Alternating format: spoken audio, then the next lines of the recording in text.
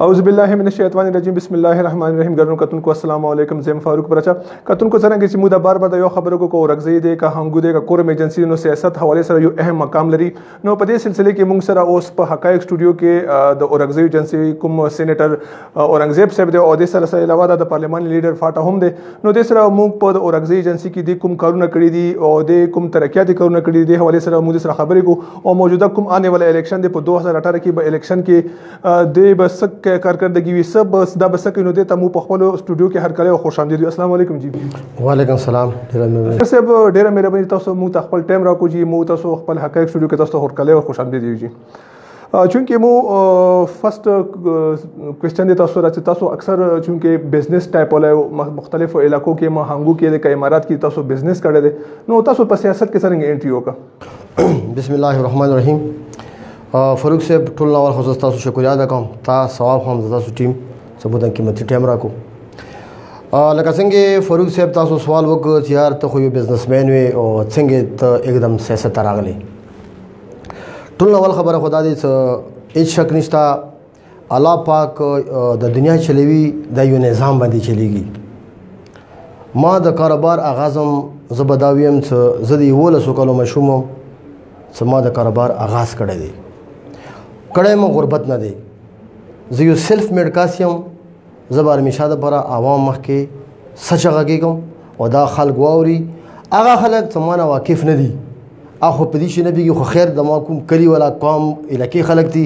اب دا خبره ضرور کوي چې یاره بالکل دا سچ لګیا دي ما په کاروبار کې ماشاالله لکه څنګه تا ته مویلو چې یو لسو کلو آغاز کړو ما تقریبا وته کله کاروبار پاکستان کې کړی دی اتلس کلو عمر کې زبیا لاړیم امارات ته اور ماشاءالله زه د الله پاک نه ډیر زیات شکر گزار یم او ما سه د خپل مور دوا دی د غریب عوام دوا دی غریب خلکو دوا دی ما په یو ای کې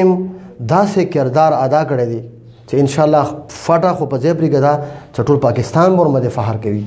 د دې زنده مثال د پاکستانی په امبیسی کې هم پروت دی چې ما څوره خدمت دي او ما الته د مسافرانو اورسیز پارک پاکستانیو څومره خدمت کړی دی او یا ما په کاروبار کې کوم مقام حاصل کړی دی دا صرف محنت نتیجه دی اور ایمانداری نتیجه دی نو غنا بعد ما سوچو کو چې الحمدلله رب العالمین کاروبار کې خدای پاک زی دی مقام ته ورسولم چې ما خپل غریبي سره ښه مزیدار چلیږي نو ما غنا بعد بیا دا سوچ کړو تا دا لکه څنګه سوال وکړ چې یاره ته بیا د سیاست څنګه راغلی نو ما د خپل عمر تقریبا 29 سال د کاروبار تجربه نه بعد ما یو سوچ وکړ چې صرف او صرف خپل ځان سره هم نه کیږي او صرف پیسو سره هم نه کیږي خدای پاک انسان رسول کړی دی غا یو مقصد لپاره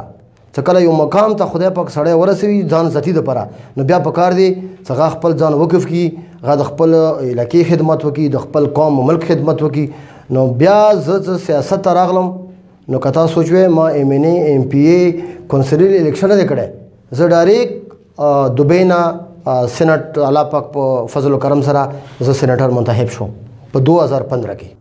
ډیره ښه دی چې درته وی چې تاسو به سیټ سېنیټر چې کله تاسو منتخب شون او تاسو ته د پاره داسې څه چیلنجز او تاسو هغه فیسینګ کړی دی بالکل ټول اول خو کله ما دا جذبه راغله چې زه به خپل خلکو خدمت کوم او د پاکستان خدمت وکوم نو سینټ ته دراتلو مقصد ما دا و چې زه اول په خپل منډې دړې په مهنت راشم زه ځان وګورم زه ځان ازمیش وکم زه احسه د خلکو خدمت کولای شم اچنا زه د خلک بیا رسې کنسل کړي د خلک عوام رانه خپاوي نو زه خپل ځان وزمیم چې زه کار کولای شم کنه شم کولای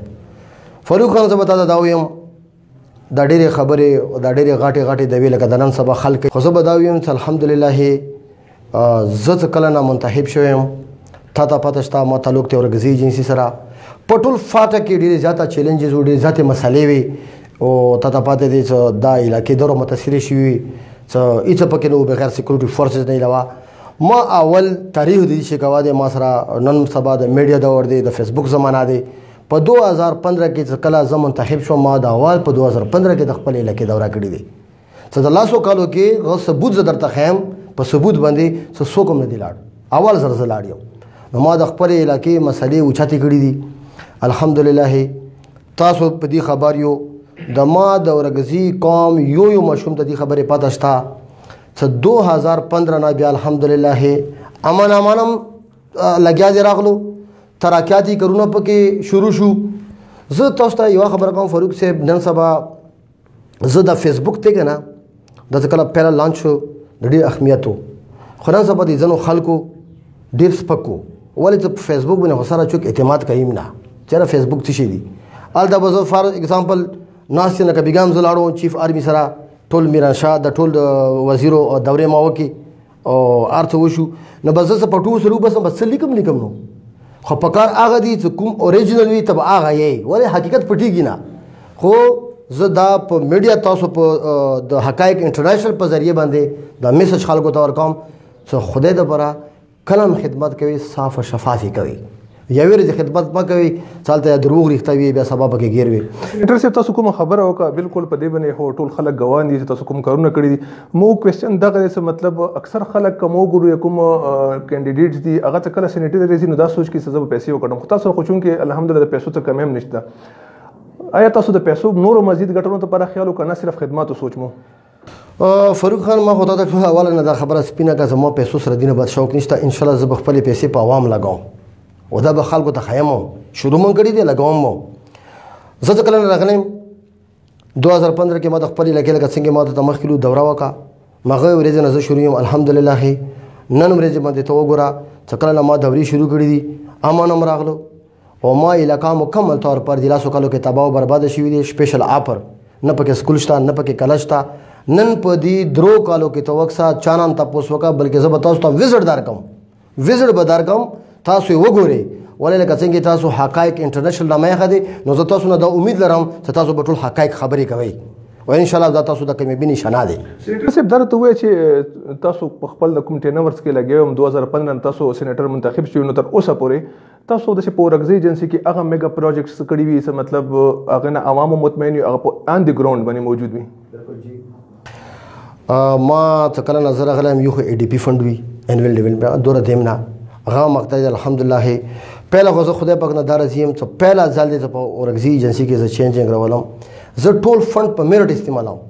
ما مشرور دی شکیل خان تاسو تاسو کو خلکو را گاډه ورکړې دي ما ته کوم فند راځي سپیشل چې خلکو علاقې سره ملويږي غونه تاسو کیږي چې وای تاسو ته څه ضرورت دی سکول ضرورت دی او ضرورت دی هسپتال ضرورت دی ته څه خلکو ډیماند مو د عوام په مطابق چلیګو مو ما چا کار نه کړی ته فند مخ خرج کړی یا راشي چوک ثبوت کړي باندې زما هم چیلنج ورکاو او مطلب دې ته مو د عوام په ذریعہ غنه علاوه فاروق خان ما دوه متي گورنر صاحب راوستو یم دي غل جوتا الته اعلانات کړی دي بشمار اعلانات پرتی دي ویک سا کارم په شروع دي غنه بعد ما میشتو ملي تر راوستو غزه کې مار باندې الحمدلله خې د لور اورګزي د کوم بجلی ګریډ سټیشن دی غا سنگل و سنگل هم ډبل کو غدا فند راغله د کار برمه شروع شي الته ور باندې په خاص د ما په سامپو خاص خوستا ځای دی زبداویان څخه په فاټه کې غنخ کولای ځای نشته او چت باندې سماله سره تقریبا لیول باندې برابر دی غزه کې تقریبا 6.5 کروڑ روپے ما ورته پارک منزور کو د سپیشل فند دی ما راوړی دی غنه علاوه هسپتال دی هغه فند خو پهلا مطلب دی چې ما منزور کو خو پر او بو سور ذکر راشي غبره به کار شروع شي غنه علاوه په دې لاسو کالو کې زه ته دا ګارنټي درکوم چې ما سره یو قوم دی بلندخیل ورته یي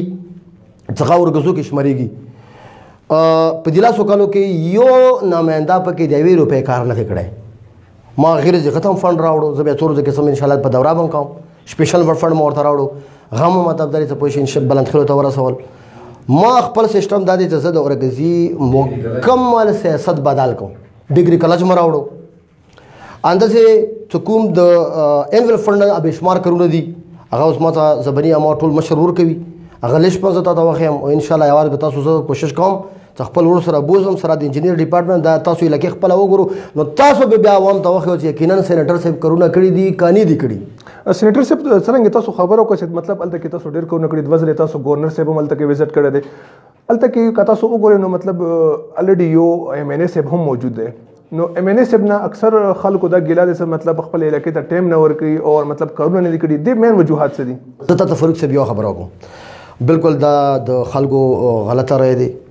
ایم ان اس فندم راوړی دي ایم ان اس فندم تقسیم دي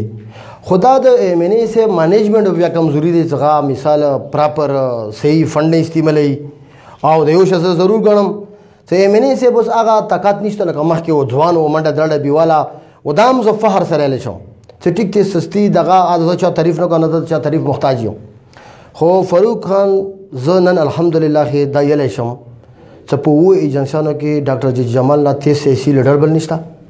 ښه تکړه دی منشترم تیر شوی دی خو عمر په حساب سره اوس مقصد لري چې پوښي هغه بیا غیر نشته چې کوم پکارو ولې خو یو آل کې خلاوي انسان خو مطلب کله څنګه کله څنګه نو فند هم ډیر راوړی دی ځکه اوس یو فند نه دی راوړی نو ما سره خیال دی دا ما ته پرم بیزتی خبره دی راوړم دی لګولم دی او بس خلک ورنه خپا دي دا زه دی بنظر وشتي نشم چې ولې خلک والي خپا دي څو ورځې مخکې که تاسو وګورئ نو هنګو پریس کلب مخې نه مخې ته یو احتجاجي مظاهره مو شوه سټوډنټان چې کوم دي هغه راپسېدلي وو بیا تر ایجنسي هیډ کوارټر پورې هغه څه مطالبات وي څه وایي څېره مطلب موږ ته دا مشکلات دي تکلیفات دي نو بیا مو ولیدو چې هغه تاسو ډېر صحیح طریقې سره هینډل کو هغه څه مین مسله وه زه به فاروق خان ته دا خبره وکم چې بالکل غیورې جی خو زه ومم نه بار و ملک نه حالانکه ما ورونه چې کوم شهید خان او شکیل خان دار غلی ورته ډاکټر صاحب او غیره چې جیلیان و غیره هیوا زه به دا ته پوي کوم چې کاش او داسې خلک څنګه د ما د وړو ماشومان سټوډنټان څه دو تعلیم دور دی دا غلط استعمالوي نو زه به ټولو نه دا وایم چې داسې لیډر دا د قوم او د ملک دشمن دی دین غړ دښمن زبل نه ګڼم غیر ورځې د کسانو څه څه په دې میډیم باندې نمونه نه خلم خو اشاره ورکوم ان شاء الله به پوي شي درې څلور کسه څغلان صاحب په سیاست کې غوتی وي غو دا مشومان غلط ګایډ کړیو څه کله ایم ان ای صاحب راشي تاسو به عزت وکړي نو زه دا خبره کوم فاروق صاحب د تاسو د میډیا په توسط سره څه کله یو الله پاک چاته عزت ورکي د عوام په ذریعه نو ما خیال دی د خپل لیډر بیزتی دا د خپل عوام بیزتی دی دا د خپل پلار او تر به زتی دی ټیک ته دغه مثال داخل د د مشوم د مان نوې جرنیشن غلط ما استعمالي کچيره ته خپل لیډر نه مطمئن نه الیکشن راشي مو ورکا ووټ خدا ما خیال دی دا هغه خلک دا چل ورته خي څنګه نیگیټیو سوچ دی و نیگیټیو سوچ ولا به ان شاء الله رمیشته پر شکست خوري او کله خپل منزل مقصود کې کامیاب نشي ولې زه نیگیټیو سوچ ولا خدای پاک دې شي خلاف بي نو مطلب دا به کله کمې بي اصله کی تغذیه ایجنسی کوم سیاست ته اجي کوم سیاست کې نور علاقو په نسبت هغه ډیر زیات مختلف دی کو ګورو مطلب تیر الیکشن ته تاسو ګورئ تقریبا یو ډیر کسان الیکشن ته ولاړو او چن غس اټونو سره مطلب جیت یو شو یا هر شیو که اوس وګورئ مطلب تاسو موږ دا هم اوریدلی چې تاسو خپل اور عبدالشاهد کوم دی هغه هم الته کې الیکشن کې حصہ اخلي او الیکشن بلړو کوي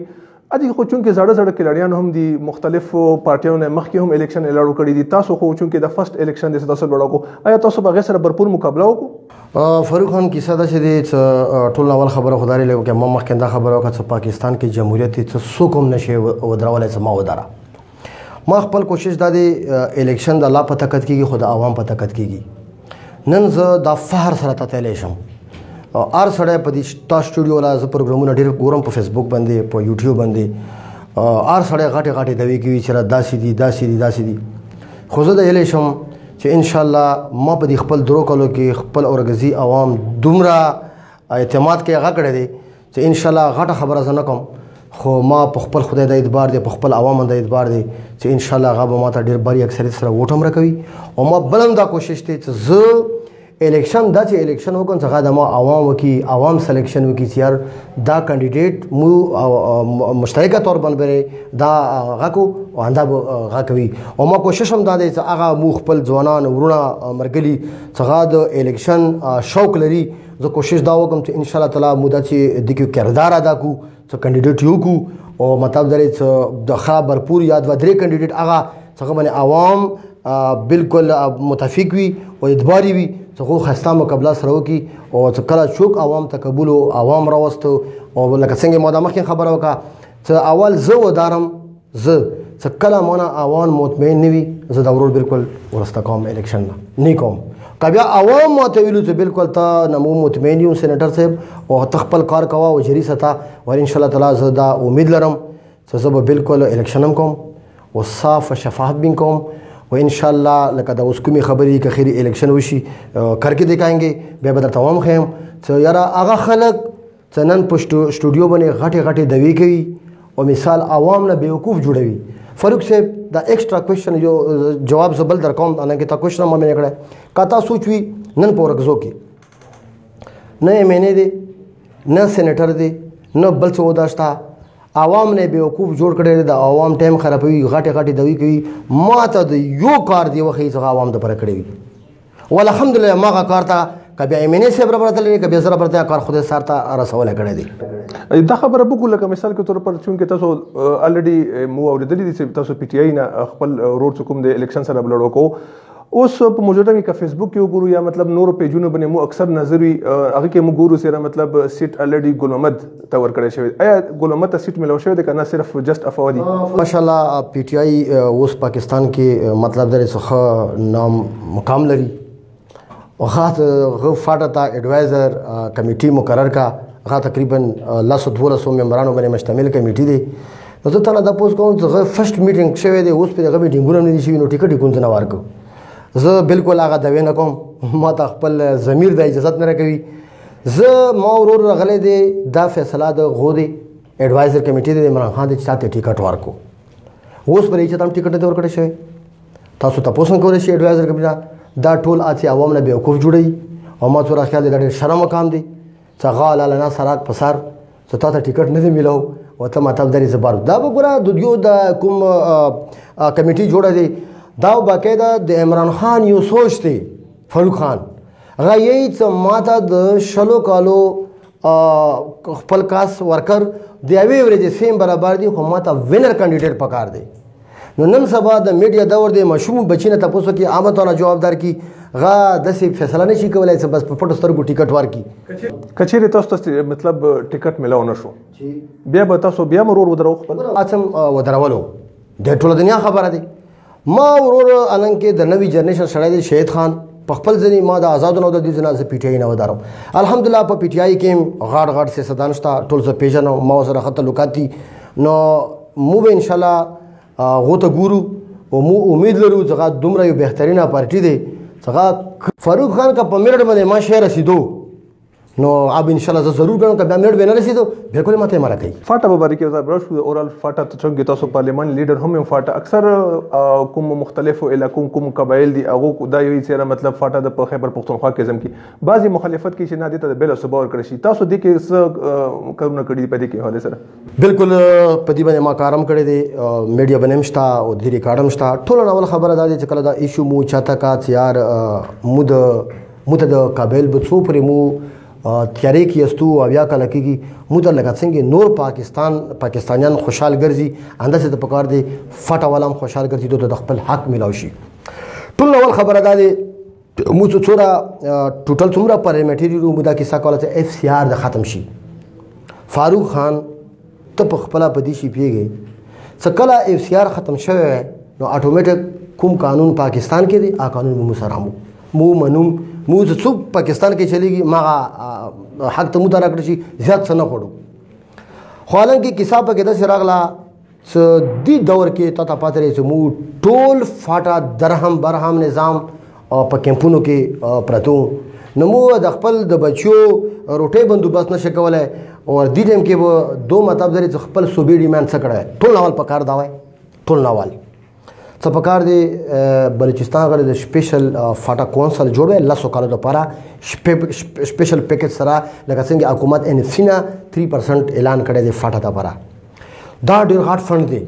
تاسو مو ته ملو شي ان شاء الله فاټا بر سره ګلي ګلزار شي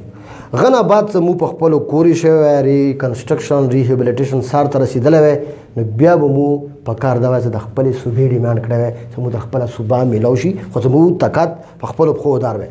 کنسټرکشن خبر او کجی کنسټرکشن اورګزی ایجنسی کې خبره به اورګزی ایجنسی ورکو چون کې تاسو په خپل حالت کې منتخب سېنیټر سره اورګزی ایجنسی کې کوم هغه کونه ډیمیج شوی دي کوم تباہ شوی دي هغه خلک کوم اوس هم موجود په هانګو کې یا مطلب کیمپونو کې پرته دي یا په فتح جنگ کې دي یا په نور مختلفو علاقو کې هغه خلکو لپاره دوباره آبادکاری لپاره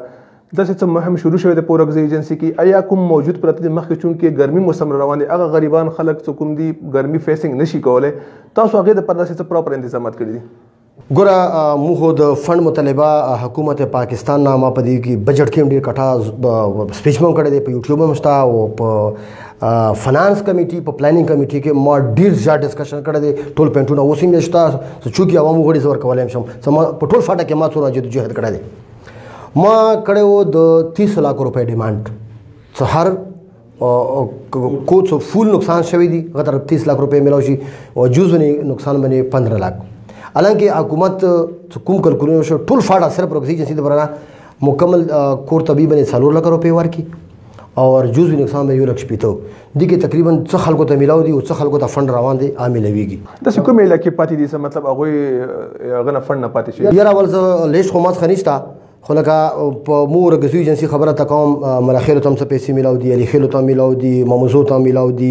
مموزو ته نه دغه ته مموزو خو غنه شوی اخیلو ته مختلف کومونو ته څه خلک پاتې دي ور کړی دي دا یو فیرس جوړ دي سټیپ به سټیپ ټول ته ملويږي هغه خلک څه په اوس موجوده ټیم کې په کیمپونو کې پاتې کیږي مطلب چې مخې ګرمي مر روانه هغه د پاره تاسو څه د هغه د پاره مو مکمل سروي بندوباس کړی دي څه پراپر سروي وشي څه څوره خلک دي څه غدي شي نه محروم پاتې نشي آر یو دا ززي مورا غنم سا آر یو کور ته پیسې ملوي تاسو کوم خبر او چې مطلب الته کې ما کوم تاسو سپیچ کړی تاسو بقاعده 30 لک روپے پر کور ته کوم هغه کړو لکه مطلب هغه اوس د تاسو کوم خبر او چې 4 لک روپے شي ایا دا 4 لک په کوی د پر کافي وي هغه دوباره کورونه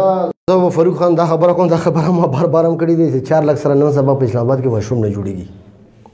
خو نشته نه خېدي مو خلک کوي بیا دا ستاسو خپل مهنت کوي نو مو ان شاء الله دا نه چې 4 لاک باندې بس شي بریک دی مو به غوړو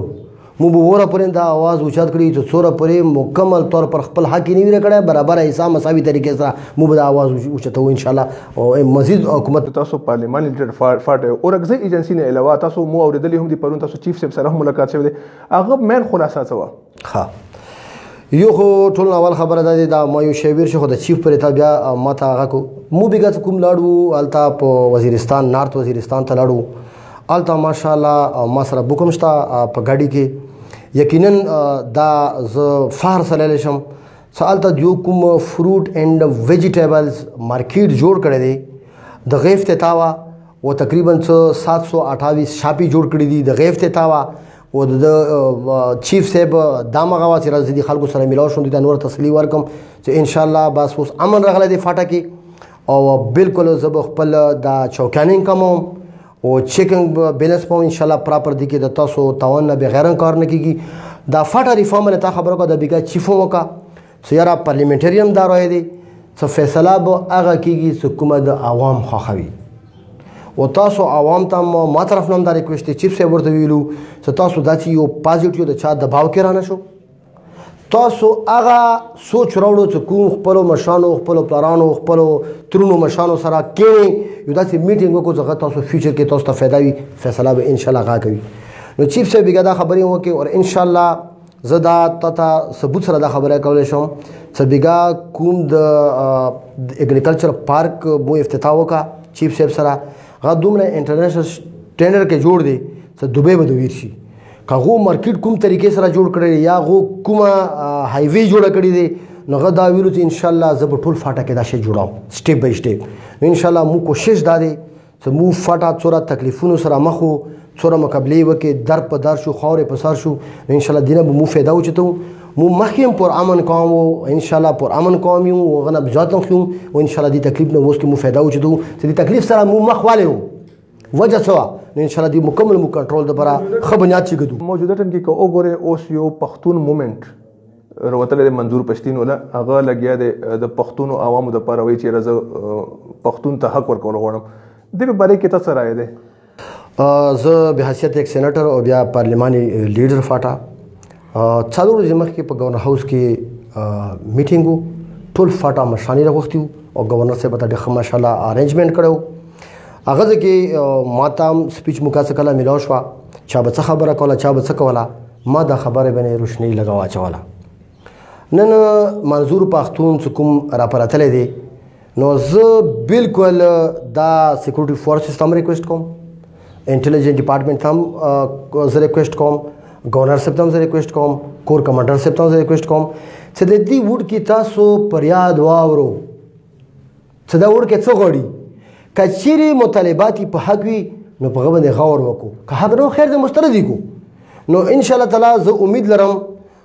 خپل حکومت پاکستان نه ادارو نه څه په دې باندې داسې روشنی واچوي چې کدا وړکی یقینا مطلب درې چې دا کوم आवाज دی دا پازیټیو دی او اجتماعي دی نو زه دا ټولو ډپارټمنټ نه حکومت نه دا غاستم توقع ستم چې ان شاء الله دا مسله به ډیره پازیټیو طریقې سره حل کی کچېری حل نه کا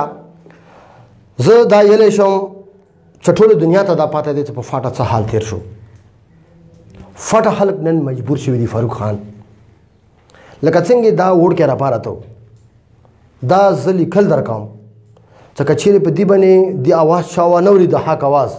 په دې باندې به ټول فاټه تحریک راوځي دا مغه د سپیچ کې ویلو هغه سمبلیدل به چا کارم نه وي خلتنګ شو خلک د هیڅ خدای د پره ما په خپل علاقې کې آزاد کا ما ته خپل علاقه پرېږده ملک ته خپل پاور ورکا پولیټیکل ته خپل پاور ورکا عوام ته خپل پاور ورکا مو خپل اعلان نو ان شاء الله مو امید لرو چې په دې باندې بالکل غور دی وشي کدا ور کې رب ما خپل سوچ دا دی چې دی ور کې سره مذاکرات ته کیدي ورځي ایجنسی کې کو ګورو مطلب څومره هم طریقې ته کو نشي دی ارزي کې تاسو هم افتتاح کړی دی بیا بعد کې هغه پسې ماغه افتتاحګانو باندې نور خلکو هم خپل تختی ولګولې دې کې مطلب داسې څه وجوهات دي چې مطلب نور خلک مر پسې کې خپل تختې وبنه لګي یاره دا خو بالکل دي شوی ما په سوچ کې خو بالکل نه دي شوی دی ټیم کې ما یو افتتاح کړی و دا خبره زکه کوم ته کوېشن واچول ته غاز لاړ وم کمون وخت و تقریبا څلور کوم ما ته په کې لاور کوم کې غشو غټه شو غرض بارانو هغه ځکه ما یو د سکول افتتاح کړی و ما کړی و څنګه فن د جی جمالو هم ته پته نه و ما ته ویل چې دا انجوز ولا کړی دی او تی افتتاح وکا خو د جی جمال فن د ما فن یو دی ولې تاسو پته لرئ چې په 2013 الیکشن کې ته خیر غټه ما نه پیژندې خو ما خیال دی ټول خلکو ته پاتې ټول د خلک غوړي د جی جمال زه فول سپورټر وم خدای راوستل دي عوام راوستل دي خو ټول سپورټري زو نو د جی جمال فند د ما فند تقریبا یو برابر دی زه د یل شم په دې تاسو په میډیا په توسط ته د ما ایم ان اس مشر دی او ما د پر محترم دی غته اختیار دی زما څومره د ما فند دی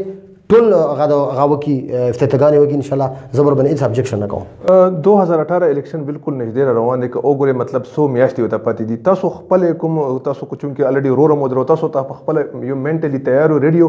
د سره سره یو بل کوېشن د سره اضافه دا کوم چې مطلب اوس چونکې تاسو په خپل سېنیټر تاسو هم لګي مسلسل ورکه کارونه شروع کړي دي اځي کې برپور کارونه مو کو خلک کتلی هم دي خلکو اپریشیټ هم کړي دي اوس موجوده ټیم کې داسې کوم غټ غټ کارونه دي چې مطلب هغه ته په ذهن کې دي چې زب هغه خپل رول په ذریعہ سره کوم یا په خپل کوم کچیر الله پاک ان شاء الله دا کرسی د کوم د اورګزی زبداوین چې دا کرسی د اورګزی عوام دی مونږ نه دی دا د کلیر یم او که کوم سړی وداري چې ښه عوام نه نن وډ غاړي سوال زری کوي یو یو ملک ورمیک څپي نو ما سره خیال دی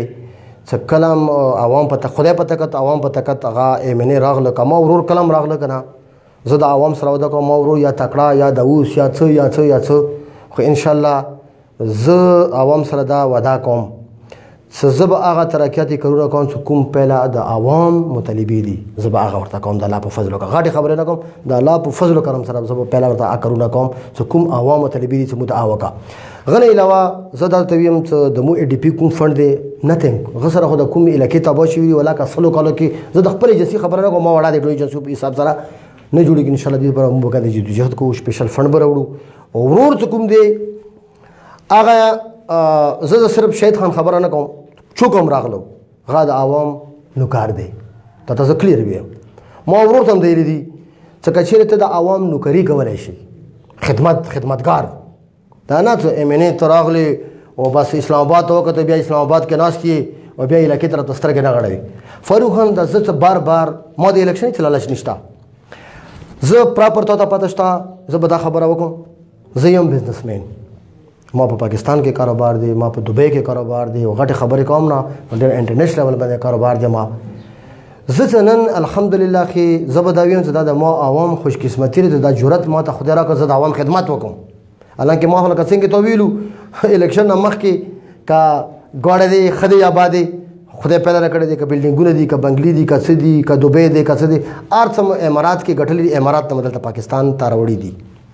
او ان شاء الله اوس کوم دی مو بالکل کا شهید خان خدای امینه کو دا به حیثیت یو نوکار کار کوي زور سره مو د خپل اورګزي قوم خدمت کو مرګ بنې څه پاته نشته خو دا اکوالی زرین دی چې انسان مړیږي خو کردار نه مړیږي نو زیم چې زه خپل اورګزي ایجنسی کې داسې یو کردار ادا کوم چې که سبا زه نه خلک ما غلیار فالو کوي څه کم څه کم خلکو ته یو مثال پاتې شي چې یقینا خدمات داسې کېږي فاروق خان په مور ورځو کې نور سنټران هم تیر دي بتم د سیویا څو یو ورځې ولې څه انګو مان سنټر کې پروت دی تقریبا کم سے کم مو بنگش او ورځې سره اوس رونه یو خپل کې سره میک شي ویو دام غټ ارمان دی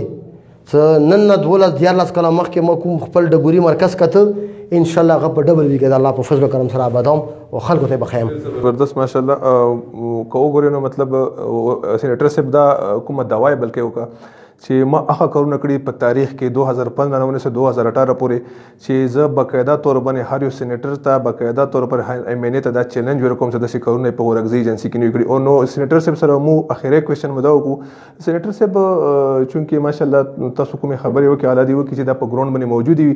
او مطلب چونکه تاسو خبره وکړه د پارکس ولا پارک کوم د اهم رول لري نوجوان نسل لپاره چونکه نوجوان چې کوم ځای کې پارک نه وي نو هلته کې نوجوان معاشره نور هم خرابېږي مطلب منشیاتو ته سوچ کوي